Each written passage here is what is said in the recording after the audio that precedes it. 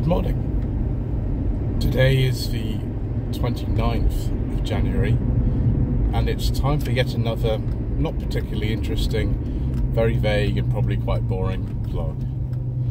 As some of you will already know, uh, we've had some trouble with some of our cars recently. I'm pleased to say that the Rover 45 V6 that I'm in today is uh, working again properly, and I've covered over 500 miles in it since I picked it up from Summit Garage in Dudley just over a week ago.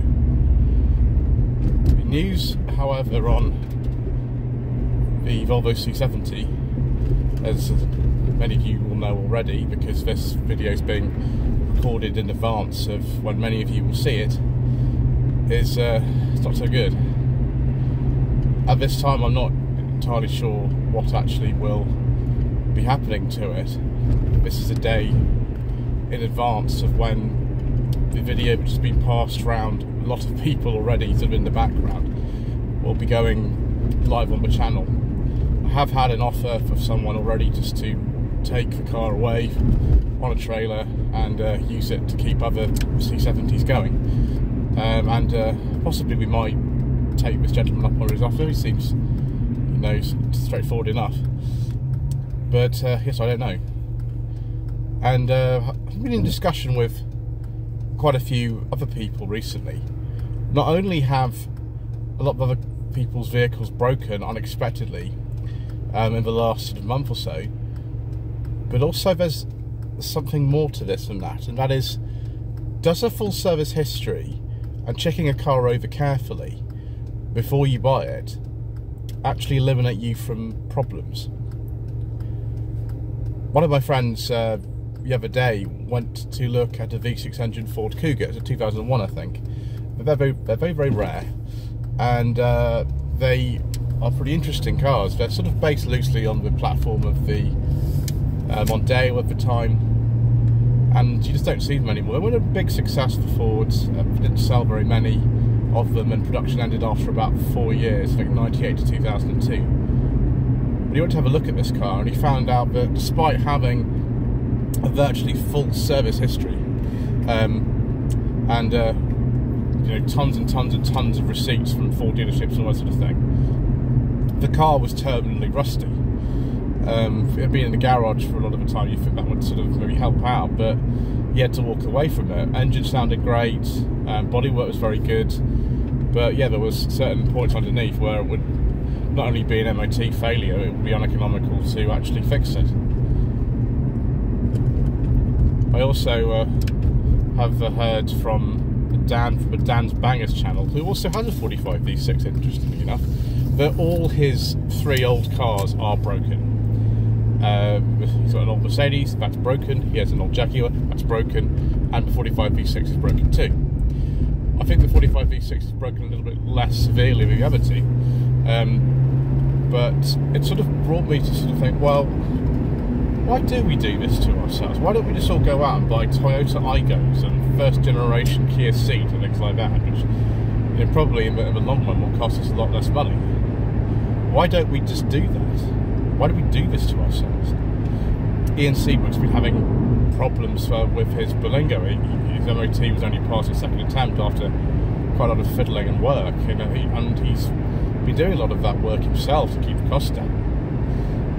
Paul from Project Nigel has had problems with his uh, with his truck that he uses, and it's going to be a lot of money to get it through the MOT this year.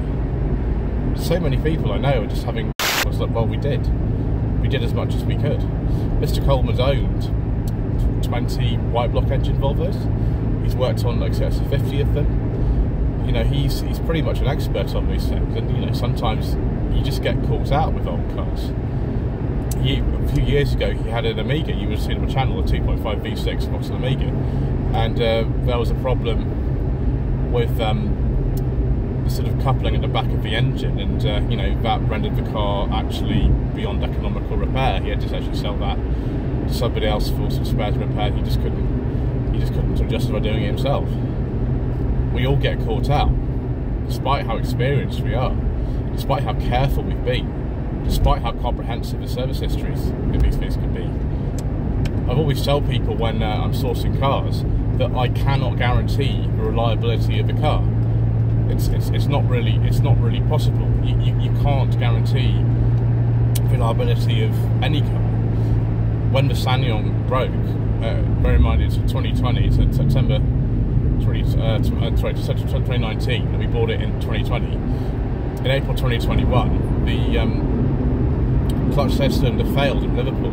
It was totally out of the blue. The car was uh, about 18 months old and it covered 16,000 miles.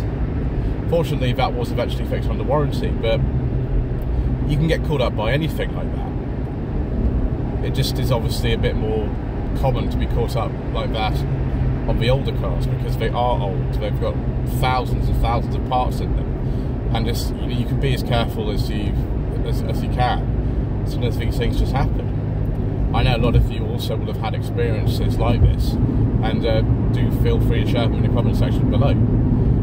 So, you know, you just, just want to be a bit philosophical and a bit realistic about these sort of things, and realise that if you want to keep one of these older cars, particularly the more sort of luxurious end of the market, you want to keep them on the road, then you're either going to have to spend, you know, more than they're worth doing it sometimes, or going to have to accept that they will reach a time when they become beyond economical repair, and you might have to get another one because it's, it's just not worth investing in the one that you have.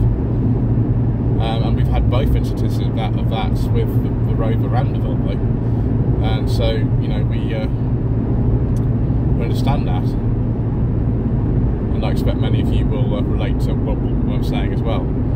So why do we do this to ourselves? Because we, we, we, like these old cars. I mean, I, am driving this Rover now. It's just I had sort of almost 800 pounds spent on it um, to keep it on the road. Obviously, the, the problem was most unexpected. I, I love driving this car. It's it's, it's, it's wonderful. It's it's fantastic. I, you know, I've covered a lot of miles in it over the last week or so, and I think it's absolutely brilliant. You know, in some ways it's not. You know, but it, it, never, it never were particularly the most reliable cars ever all the all the least reliable cars. It's just it's it's sort of old, but it's very characterful. You know, I like going to shows with it, and people say, "Well, I've never seen one of those before." Uh, or you know, I remember uh, Rover 45. You know, my father used to have one, or I used to have one, and that's the sort of thing that you know keeps us going, doesn't it? It's the the idea that you have something a bit different, something that you don't see throughout the travels that I that I had in this car, I, I, barely see these days cars of this age or older just sort of going around. but There are some, but there are not very many. So maybe that's something to do with it. Just kind of, you know, in, enjoying an older car, a bit of nostalgia, and you know these cars are are quite inexpensive. They're not necessarily when you buy them going to be the most expensive thing, but um, in terms of running costs, that might be another thing entirely. Anyway, thank you ever so much indeed once again for watching. Please don't forget to subscribe to this channel. Like my video, leave a comment below, and uh, we shall see you again soon for more hmm, inaccurate and rambling musing. Lloyd Young Consulting stickers, t-shirts and mugs are available by clicking the link to the Google form in the video description below.